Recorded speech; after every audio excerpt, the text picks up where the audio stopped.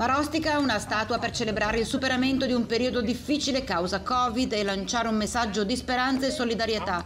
Collocata nel giardino di Porta Bassano all'ingresso est della città, sito scelto in accordo con la sovrintendenza di Verona, la scultura di San Francesco il Lupo, opera in bronzo dell'artista marosticense Luigi Carron, scomparso nel 2006, è stata donata alla città in occasione del ventennale di attività del locale Lions Club.